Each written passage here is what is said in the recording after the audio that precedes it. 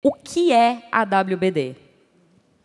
É uma ótima pergunta, porque realmente a WBD é, passou por uma fusão muito recente, né, e essa é uma pergunta recorrente, né, que as pessoas, os produtores, o mercado em geral, sempre que nos encontram, é, sempre trazem essa pergunta, mas como é que é, o que, que aconteceu, como é que está, né?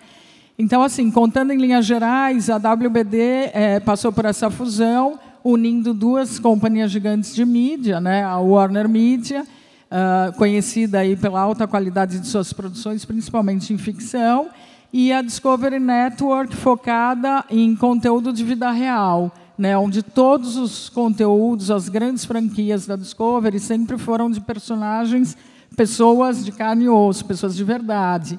É, e daí a, surgiu a WBD, que já nasce é, gigante, é, com um portfólio bastante robusto e, uh, o que é bem importante, absolutamente complementar, né, ao passo que a gente conseguiu unir o melhor da ficção com o melhor da não ficção.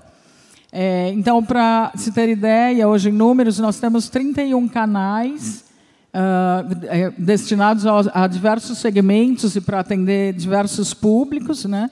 É, desde os canais uh, de vida real, que é o Discovery Channel, Discovery Home and Health, Investigação Discovery, cada um dentro de um segmento. É, nós temos os canais de ficção e entretenimento, com marcas icônicas como Warner Channel, TNT, Space, TNT Novelas e também por aí vai. É, temos os nossos canais premium, que são os HBOs, bastante uma marca muito forte né, e reconhecida é, globalmente. E, além disso, nós atuamos também é, no segmento é, Kids, infantil, é, também com marcas icônicas como o Cartoon, Discovery Kids e o Cartonito. Né? E, assim, é, quando a gente conversa com a, a, as produções, produtoras, dificilmente há um tema, um tópico que a gente não tenha um canal destinatário. Né? Então, por exemplo, sei lá, se a gente fala de carros, automobilismo, a gente tem o Discovery Turbo. Se você fala de animais natureza, a gente tem o Animal Planet. Se você fala de True Crime, a gente tem a Investigação Discovery. Se fala de filmes de ação, a gente tem o Space.